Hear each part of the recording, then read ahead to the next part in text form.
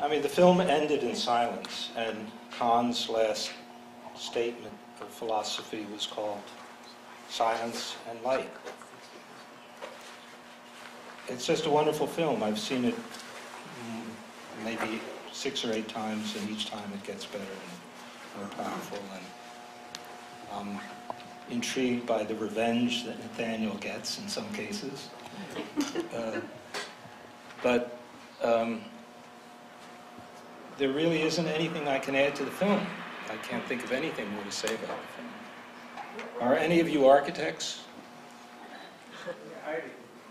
Are any of you physicists? Okay, I can get away with murder then. Let's go. Any, any, any questions? Yes. Yeah. Working with Louis Kahn, did he ever share with you a thread of his vision or who influenced him or how he wanted to incorporate nature and all those wondrous uses of space and light and, and geometrics? Did he ever talk about his intent, his, his vision? All of the above. Can you share any of All that with time. us?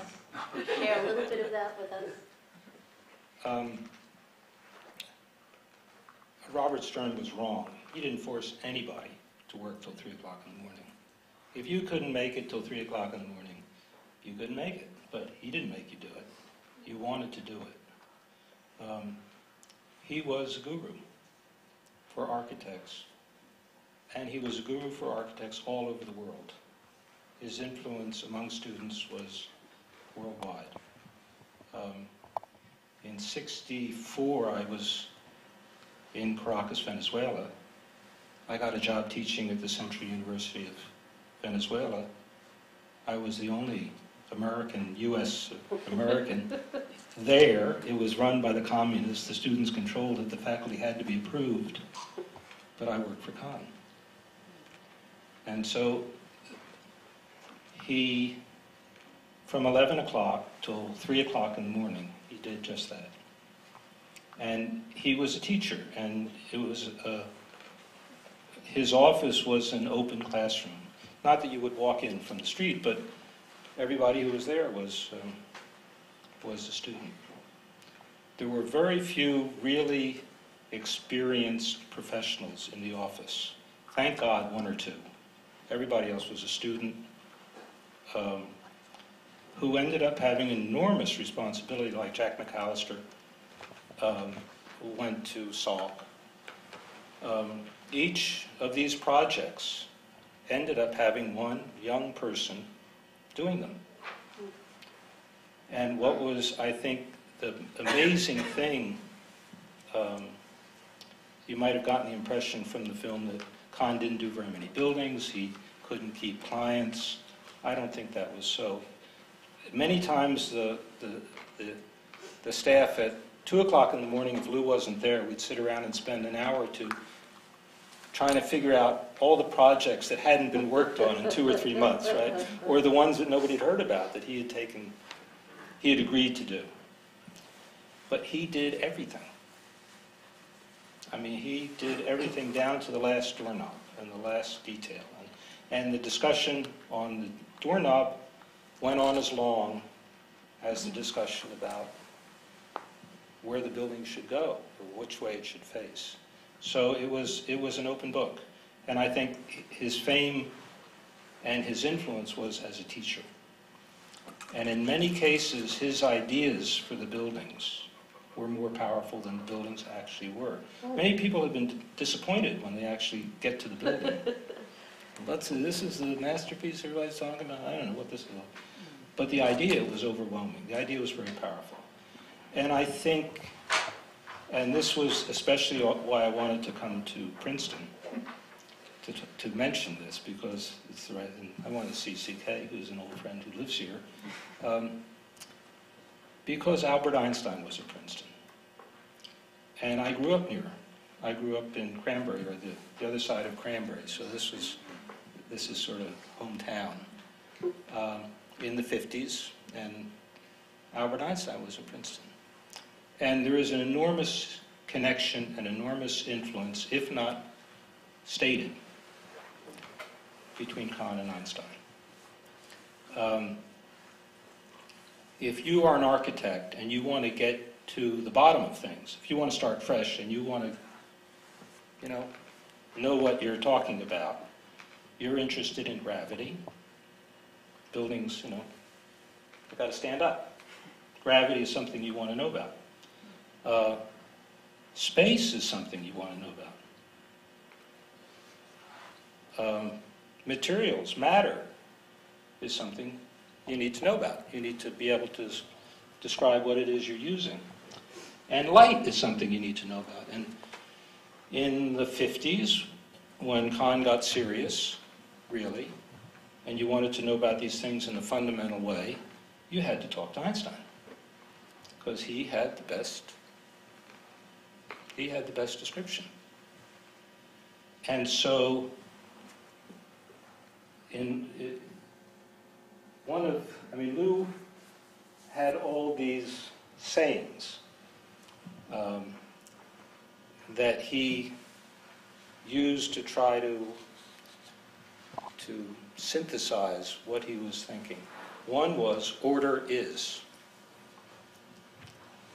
And he believed, like Einstein did, believe that order is. The world, universe is ordered. Um, since then, there's been some question whether they were right or not. They may have, quantum physics may have uh, had have questioned whether the universe is ordered. But at that time, um, Einstein explained what gravity was uh, as a geometric, the curvature of space. Um, and I think in modern architect in modern architecture, the difference was that space became something. If space is curved, if there's something in the curvature of space universally, then space is something. I think up until that time, space wasn't anything. Space was what was not there between walls, or space wasn't. And so the architecture had to do with the facade. But then in the 20th century, based on relativity, space became something, and you, the right was very much analyzed in terms of the space could flow. I mean, space all of a sudden was something like molasses that it flowed around, and in, in uh, Mies van der Rohe's Barcelona pavilion, space would move and flow, and architects started talking about the flow of space. And so it became an entity. Um, now, I mean, now in, in physics, space has energy. It's not. A, it's. I mean, if it has energy, it has matter. It's not a void. It's not a. Even in the vacuum of space. So I think this was a fundamental change. I think Kahn and other architects understood it. Um, Kahn said that matter is spent light. It sounds just like Richard Feynman. It sounds just like quantum mechanics, quantum, uh, quantum, uh, quantum electrodynamics. So he was, I think, trying to make architecture compatible with what seemed, in the mid 20th century, the best description of how nature was. Um, and I think Einstein, he was here at Princeton many times, he taught at Princeton, he spoke everywhere. I think Einstein's presence and discipline and rigor. In those years, Einstein was sitting here in Princeton looking for the ultimate unified field theory. I think physics thought he was, other physicists thought he had lost his way, he wasn't really relevant anymore quantum was going off like this. Um, but um, he was trying to find the final unification of natural laws. And I think Kahn was trying to find the unified field of architecture. And he was trying to present to students a rigorous philosophical basis for architecture It involved space, it involved materials, it involved light. The basic fundamentals. When Kahn talks about a brick wants to be a brick, he's talking about it like it's an electron, like it's a, a, a photon, it's like a photon. It's a fundamental element of architecture. It's not somehow divisible. It's symbolic. I mean, he had concrete and steel and glass and so forth. Um, he made it, some distinctions. The, up until that time, the, the, the common understanding of architecture was form followed function. It came from Louis Sullivan and Wright was its example. And Kahn modified that and said form evokes function. And from that we understand immediately why ruins and old boiler houses and old factories and old warehouses are immediately reused. Their form, their evokes a new function. And it has, explains also why great buildings survive. Uh, and while they, they either get reused or they become great symbols uh, as ruins. Enough said. You mentioned modern architecture, what you just were talking about. What, how do you define modern architecture, and is it different than contemporary architecture? Yeah, modern architecture really was the architecture that began um, when people started to understand what Einstein had been talking about in 1905. The first expression came as Cubism. I mean, uh, it, it, based on a relativistic theory of, of uh, nature. And it evolved, and the first, and then it gave, it, it gave a, uh, it got in, it got a push by the Second World War where European architects like Mies and Corbu wanted to reject the past because it wasn't bomb-proof. So we had to build cities that after the devastation in Europe had to be bomb-proof, and that meant building buildings separate from each other. Um, and it was, it was a, it was, a, it really required denouncing past architecture. We got to get rid of it, we got to start fresh. We have steel, we have concrete, we have the automobile. Um, we don't need references to Greek columns, and we don't need references to eclectic orders. Let's get that out of our mind. And when, when I went to the University of Pennsylvania in 1954, up until 1952, they taught classic architecture. And so the slate was wiped clean. The faculty was out, and all new faculty was in. And, you know, I, I didn't, I couldn't tell Ionic from a Corinthian. I had no idea what that was all about. Um, Kahn didn't let that happen. And his attempts were to bring archi- the history of architecture uh, back into the, the picture. And um, so the, that was what I call modern architecture. Things changed around 1960 or 65 when the implications of quantum mechanics and the uncertainty principle and the probability theory and so forth began to seep into consciousness. So we have postmodernism, which shows a randomness, an accidental quality.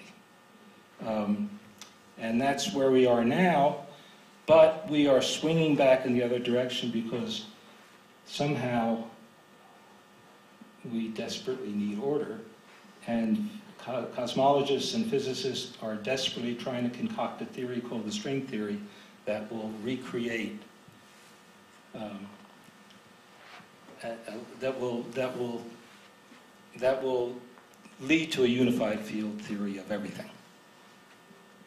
So that's where we are. I don't know where the where this will take us in architecture, of the arts, but it will follow whatever physics does, in my opinion. or it will follow an interpretation of whatever physics does. Uh, when I went to see the Getty Museum in, in Los Angeles, I was just completely stunned by it because it seemed to be both, uh, ti- uh, both ancient and modern simultaneously. It seemed to be both timeless and timely simultaneously. And I got that feeling from some of Kahn's buildings. Do you think that, I'm blanking on the architecture of the Getty Rich- right now. Richard, Richard Meier. Richard Meier. But do you think that uh, he Kahn was, he was influenced by Kahn, particularly in the Getty? I, I don't know, I don't know the Getty well Oh, enough to talk about it. oh, okay, But was he influenced by Kahn? Yes. Unquestionably. David, it, it seemed that the eastern, um, the buildings he did in the east, in India and Bangladesh, the appreciation for it was uh, significantly more elevated than, say, us in the west. Yes. Is there something cultural that you would Oh, sort of attach to that? In, in, in film, one of the chapters is called Beginnings. Um, Alexandra Tyng wrote a wonderful book about Kahn's philosophy called Beginning.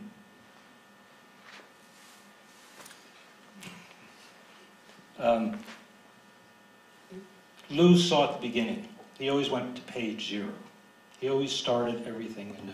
Always started, you know, go back to the very beginning. And that always took him to the primitive. And I think he found in India and Bangladesh a respect for that primitive quality, that basic, rough, fundamental quality. Uh, I don't agree with, um, I guess, Pei, who said that his buildings were perfect. They were right, but they weren't perfect. He, I don't think he cared that they were perfect or not.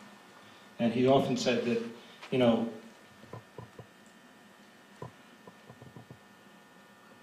right thing poorly done is better than the wrong thing beautifully done.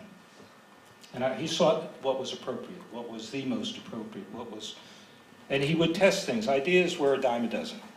I mean, students would always come. I, I had great sympathy for Nathaniel because nobody got enough face time with Lou. And, and um, everybody came with ideas, hoping that Lou would like the idea. And to Lou, ideas were a dime a dozen. And any idea he immediately put to the test, tested, just like a physicist would test. It had to be tested. And on a, on a deeper scale, he would test concepts or he would test designs by taking things out, by subtracting. And at some point, if you could identify the thing that you took out that caused the concept to collapse, then you found the fundamental thing that it needed to be. And that's what he talked about when he talked about, well, when he talked about the brick wants to be a brick, the rose wants to be the rose. It was a sense that these ideas had a desire to come into existence on their own. And it was simply the job of the architect or the artist to recognize them. That's all.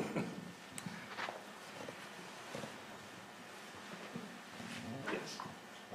When you were with Louis Kahn, did, did he ever express satisfaction with the way a work was complete?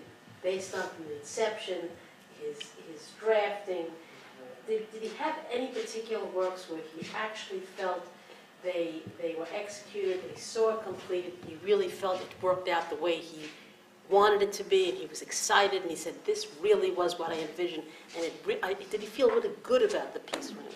In terms of when the models went out the door or when the No, buildings The got... actual completion, when he Um, could see his work, was there a work that he would Usually by the time the building was finished, it was so many years later, he was on to so many other He didn't go to projects. look at it? Um, I can't really answer that, but I don't have the impression that it was a big deal.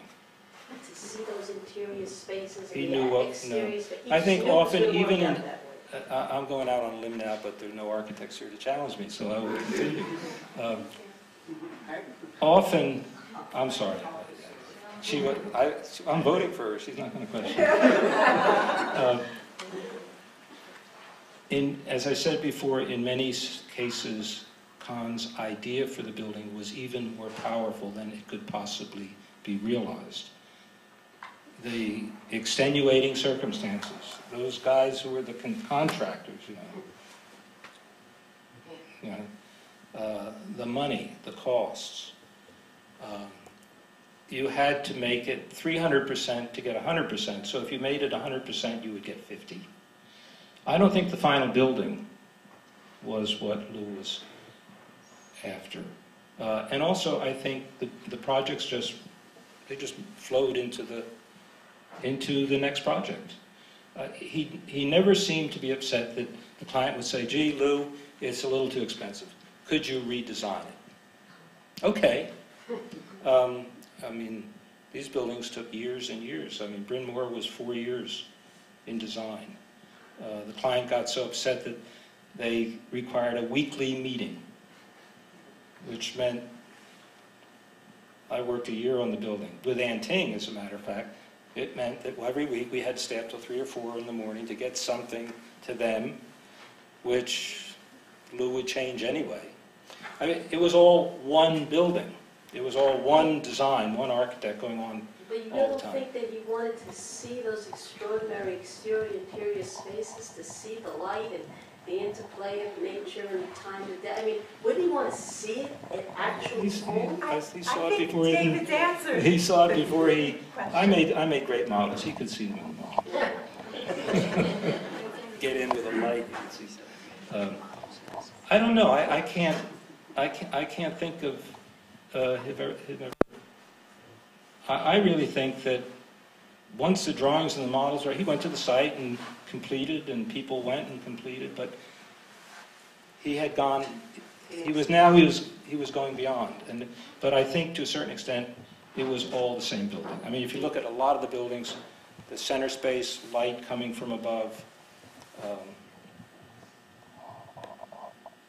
Are there any residential buildings other than the Fisher House that was highlighted that you are aware of that undiscovered someplace? No, they're not undiscovered. There are a few. He always tried to have a little house going. Uh, Somehow he liked that. Uh, The Esherick House outside of Philadelphia was built for uh, an incredible craftsman who did a lot of the, the interior woodworking. Um, I can't remember all the houses, but there are, there are a number. And of course, before, earlier, um, before the 50s, Lou uh, did a lot of public housing. Uh, It's not necessarily distinguished, but it's, I mean, anybody know Roosevelt, New Jersey? Well, that was a WPA project, he worked on that. Um, So, um, Why was he in such financial? I I know that everything, I don't know if it's important or not. what? He supported his wives. No, for, ma- for many years Esther carried the office. But he was in financial difficulty because these buildings got redesigned time after time after time.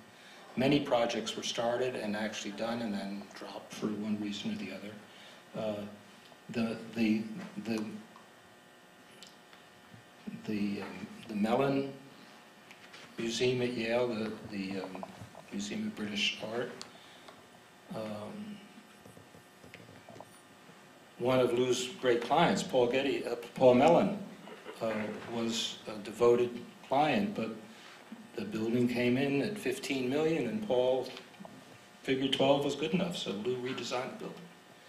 But he still, you know, I mean, it, it just never could keep up. And I think Bangladesh was probably, Pakistan and Bangladesh was what really bankrupted him, because most of it was owed to the engineers the HVAC guys and the lighting guys and structural engineers and, and he, and then he would go off and do a, a, a huge project for Venice that didn't get built, and he never got paid. And so that was, he was on to the next thing. He wasn't a businessman. No. Didn't even come close. Do you know what the sun's livelihood is? Excuse me? Do you know what the sun's livelihood is? Nathaniel? He's a fabulous filmmaker. I think he was a playwright. is that his I don't. I don't know if he's, what he's working on or what he's doing, Casey, you know? He's Everything. working on a second film. Is he? Well, I think that the sequel should be the philosophy of Lou Kahn's philosophy, architectural philosophy. Um, If he could do that, if somebody could do that. The film doesn't do it, really. Did you do that? Maybe. David, you had mentioned that um, CK was also um, influenced yeah. by um, your um, studies with at U of P. And I wonder if you could talk at all about how it influenced your poetry. Um, I didn't really study with him, I sort of hung around with him when Dave worked in the office, and another friend of ours, Ricky, and I knew MacAllister. And I was just sort of in his circle. He liked me because I was the only one who ever disagreed with him. All the architects would say, yes, yes, yes, and I'd say, Lou, what do you mean? And he liked that. Um, But when I, somebody asked me to write an essay about um, what had influenced me, this was about 20 years ago, in my artistic life. And when I began to think about it, I realized that he had been the big influence of my life, uh, mainly um, in this in- incredible patience he had, which Dave has just described, that, you know, the buildings, the, the, the plant, the design went on and on and on. And the giving of his life to the work was really very, very important to me. Some people would say that that's procrastination. No, that's not, an artist wouldn't say that. It's not procrastination. It's, I mean, he really taught, the big lesson for me was patience, that that's what you have to have. You have to be infinitely patient. And then I have an anecdote about him that's my, one of my favorite self-anecdotes.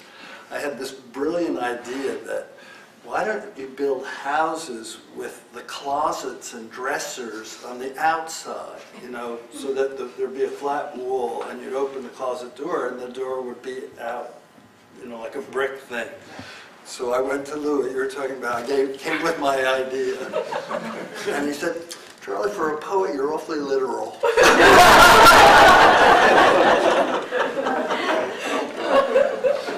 But he really wasn't. I mean, he was the model for an artist.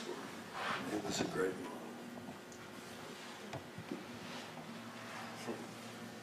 So when you, when you do your architecture, David, when you sit down with pencil and paper, are you thinking of him and his lessons, or are you kind of moved on to your own sort of, You, you desperate, yes, all the time, and you desperately try to move on.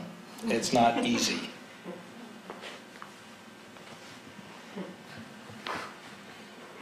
Half the time you are discarding things because they look too much like Kahn might have influenced you.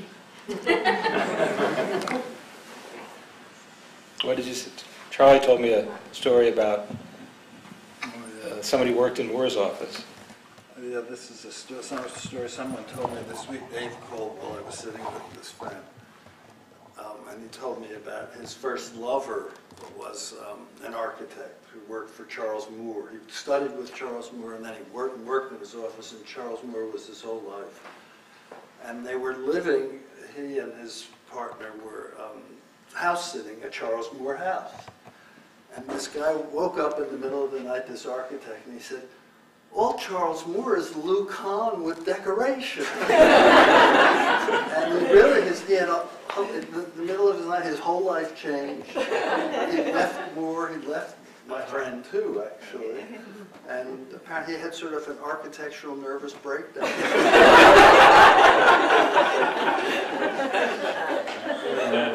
You you had asked about influences and whether he he, uh, admitted them or he talked about them. Some he did and some he didn't. And some I could just surmise without knowing for sure.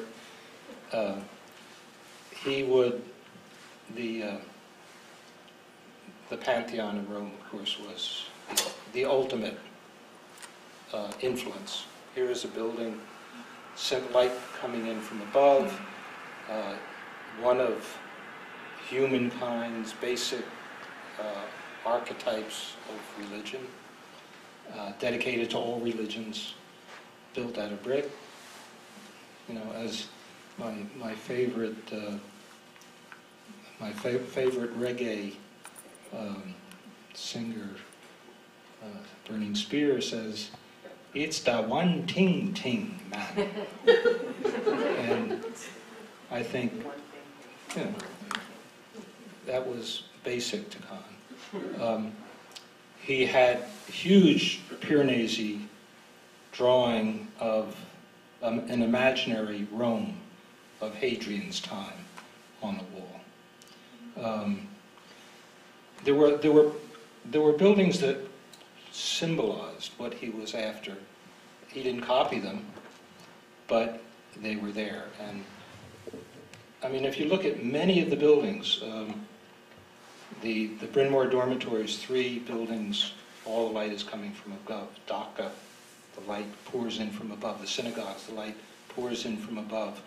Uh, the Unitarian Church in Rochester, the light pours in from above. These are all from the, the Pantheon in Rome. Um, he, I think, uh, was one of the first in architecture and sculpture, maybe even in painting, to absorb what Feynman was saying in quantum electrodynamics, that light is not reflected. Light is re-emitted, so matter emits light. And I think that that suggested a vitality to surfaces and a vitality to, to materials that Kahn tried to incorporate. It's a subtle thing, but it was, and so that how light, how natural light, I mean, the first, um, what distinguishes, um, um, what distinguishes the Mellon Art Gallery, what distinguishes um, the Kimbell Gallery? Natural light. This is taboo. I mean, the Guggenheim made a big deal. Frank Gehry's new Guggenheim Museum, how the Guggenheim. Well, Wright's building is to the, the, the skylights are still obscured. The entire Guggenheim has skylights going around the surfaces where the painting is to be hung. The first curator blocked them out. No way, no natural light. Modern art needs artificial light. So Kahn brought natural light back into these museums. I mean, Museum in Glasgow has wonderful natural light all over the place. Uh, but in this country, it wasn't, or in a lot of galleries. And, and you, still, you can still go into the new modern, you know, it's white walls. The new, the new modern museum, the main entry gallery, still white walls with artificial light. The Monet looks like a disaster. So those were, those were influences. Uh, I think uh, Lou was competitive. I, I think Stern was right in one regard. Lou was competitive. Uh, built a dormitory at the University of Pennsylvania, and Lou built one at Bryn Mawr. And I think he, he challenged the Saarinen dorm in the way he built Bryn Mawr. I think he was definitely aware of that. I think there were other influences like Vasarely, the painter, um, who showed geometric shapes and forms. And I think for, for Kahn, the most fundamental basic choice he could make was deciding whether the circle was appropriate or the square or the triangle. He, uh, his definition of architecture was the thoughtful making of spaces. Okay. That meant what was space, which we've discussed before, making. Um, the space had to be made.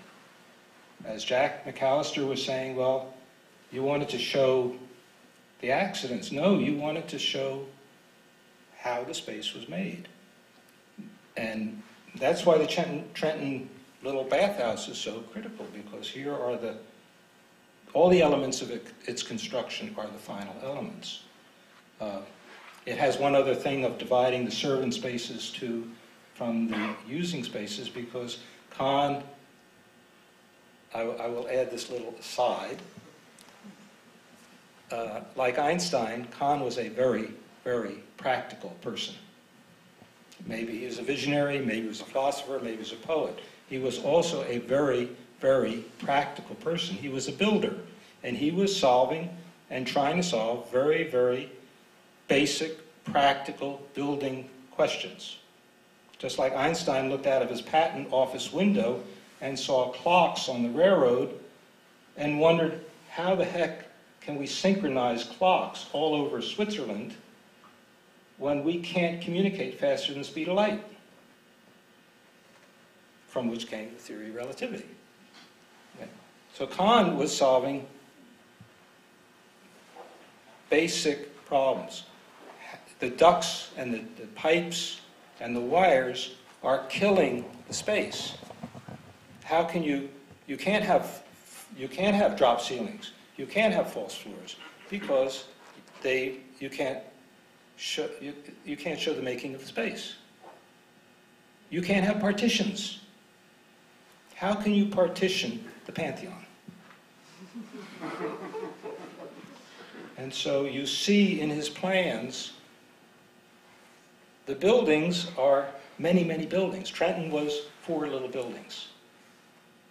Bryn Mawr is three buildings. Right? Um,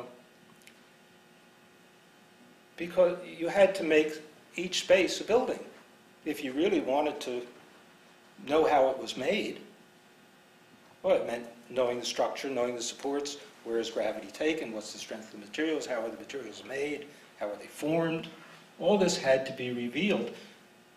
Partitioning was a real problem, serious problem, and he tried to avoid it in, in all kinds of ways. Um, the, um,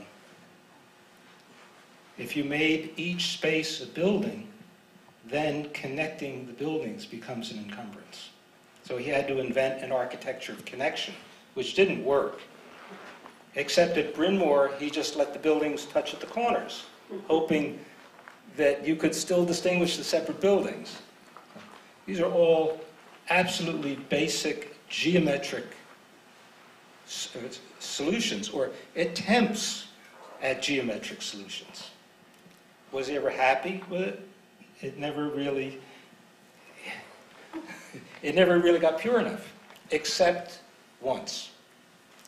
And that was the, the FDR Memorial uh, that he designed for Welfare Island, which was right in front of the UN. There's an attempt to maybe get that built, um, but Parks Department is going to put a little playground in instead. Um, Lou tried to synthesize the thoughtful making of spaces to what is the fundamental space of architecture. It was just a simple room without a roof, without a ceiling, in which Roosevelt sat, just a certain proportion, right, at the end of the island, looking at New York. Um, he didn't build it. Uh, Halprin knocked it off and built it in Washington. Sorry, I must say, he built four of them instead of one. But that was Lou's attempt to really make the most fundamental architectural um, building or space.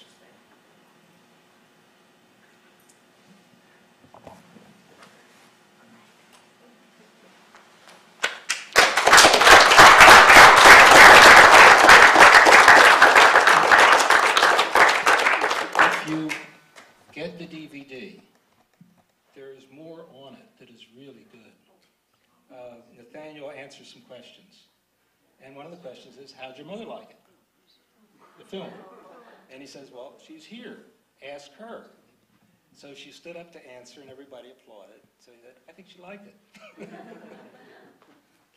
Thank you.